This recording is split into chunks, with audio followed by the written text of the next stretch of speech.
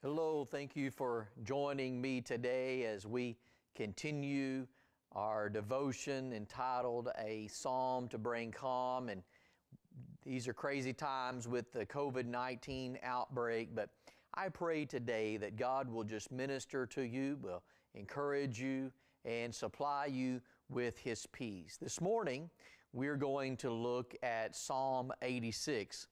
Psalm 86 and Verse number one David says, Hear, O Lord, and answer me, for I am poor and needy. Guard my life, for I am devoted to you. You are my God. Save your servant who trusts in you. Have mercy on me, O Lord, for I call to you all day long. Bring joy to your servant, for to you, O Lord, I lift up my soul. You are forgiving and good, O Lord, abounding in love to all who call to you.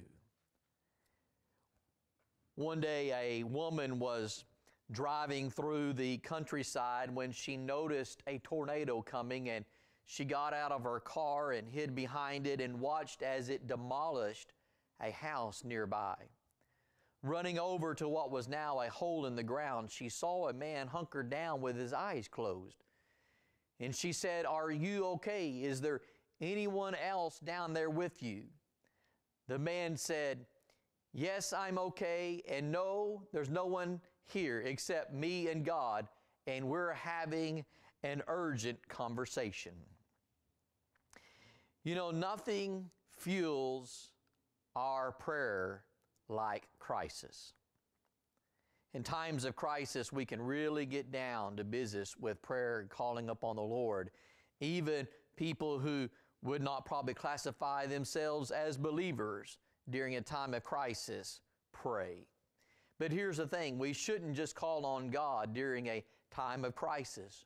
We should call on God and draw near to Him at all times, even when times are going well in our lives, when times are going good. However, emergencies become opportunities to experience God's grace and power in a greater way. And the central truth of this psalm, Psalm 86, is this Our greatest needs should cause us to call upon the great God who is able to help us and to answer us. Verse number one, David says, Hear, O Lord, and answer me, for I am poor and needy. David is in a crisis and he turns to the Lord in prayer. He pleads that God would hear him and that God would answer him. David knows that his only help is the Lord. When David says that he's poor and needy, he's referring to the fact that he is helpless and he is totally dependent upon God. Oh, my friend, how we need Him today. How we need Him. We need His help, don't we? We need His divine intervention. We need to pray this prayer, Oh Lord, hear me. Lord, answer me. We are in need of you. We are totally dependent upon you.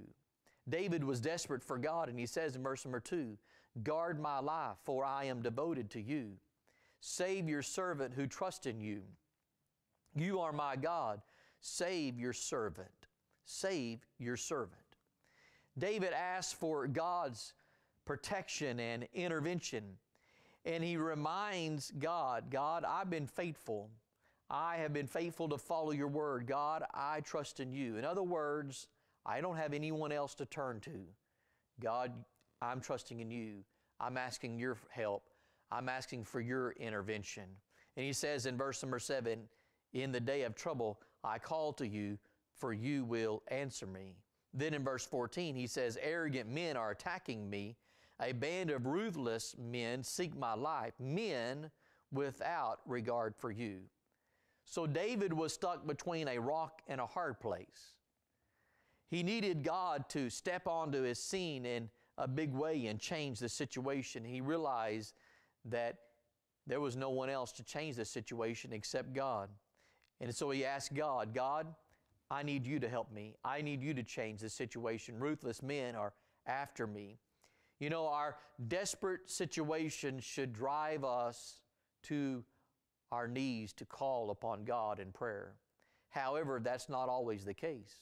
You know, sometimes we do everything but pray. We talk about the situation to our friends or to our coworkers.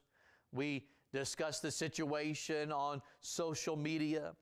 We discuss the situation with those in our family. We may even complain about the situation. We may even blame the president. We may blame someone else.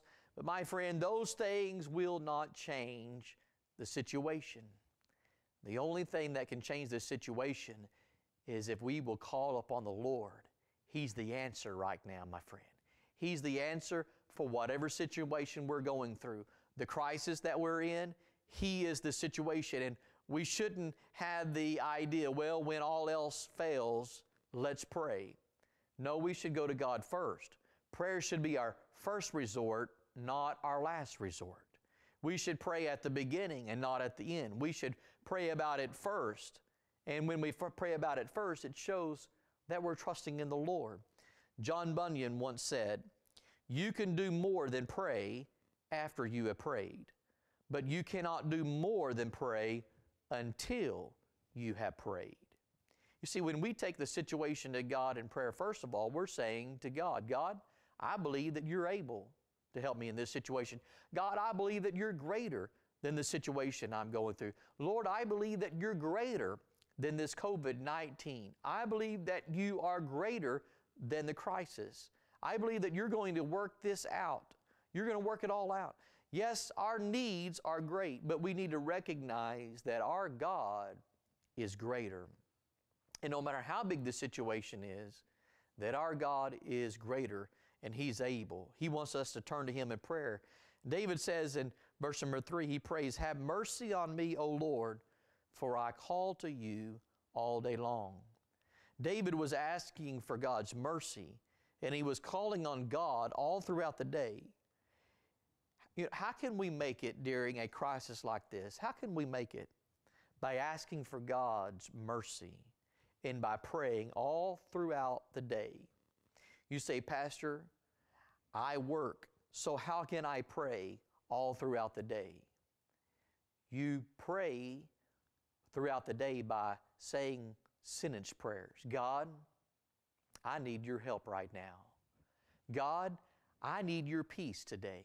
God, I need your strength right now. God, I need you to lead me. I need you to guide me. Lord, I want your perfect will to be done in my life. God, I need you to protect me. God, I'm turning this situation over into your hands. God, I'm trusting that you're going to be my strength and my guide today. God, I'm praying that you're going to help me with this situation because, God, you are forever faithful. It's praying sentence prayers like this throughout the day. This is on top of that time, that special time that we spend with God in the morning. And David says in verse number four, Bring joy to your servant, for to you, O Lord, I lift up my soul. The pressures of the situations have sapped the joy from the life of David. And he asked God to bring him joy, to lift up his soul. Maybe today, the crisis that we're going through or something else that you're facing has sapped your joy.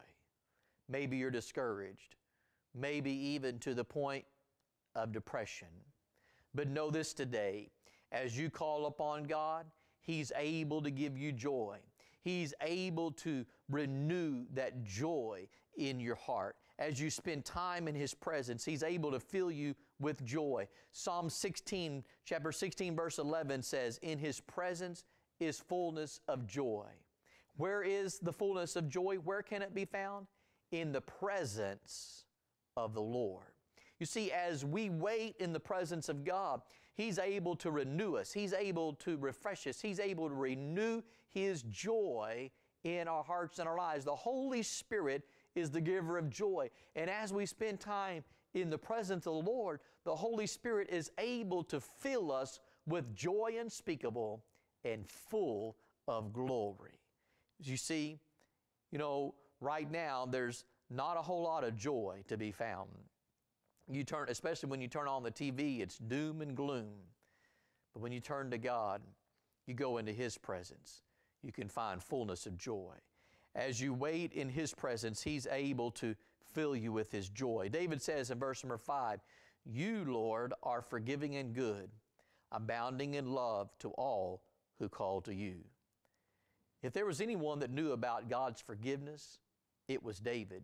He had personally experienced God's forgiveness, and he knew that God was good and that He was great in love. He was a great God of love. And knowing all this about God encouraged David to call upon the Lord.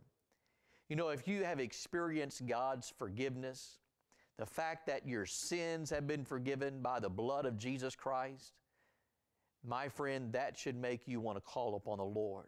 Oh, He is good. He is a good God. God is good. As the song says, God is good all the time, not just once in a while. He's good all the time.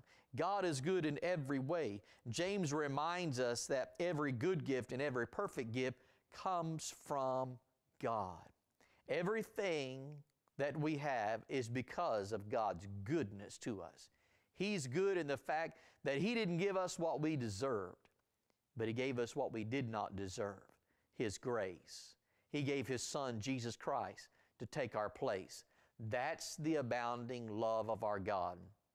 And that should make us want to call upon His name.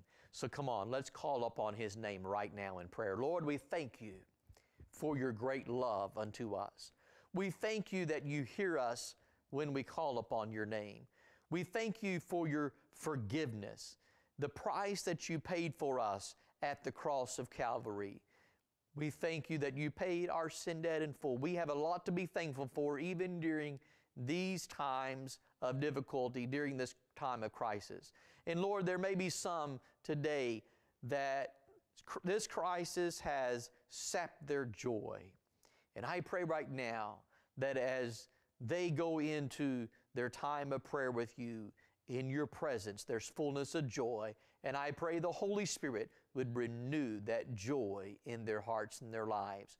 For the joy of the Lord is our strength.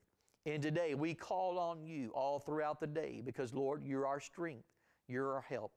And I pray, God, that they would not keep their eyes on the circumstances, but upon the good and the great God who is abounding in love, the God who is greater than their circumstances, the God who is our Savior, and our trust is in you. We're looking to you today. Bless your people and encourage them, I pray, in Jesus' name. Amen. Thank you so much for joining me. God bless you today.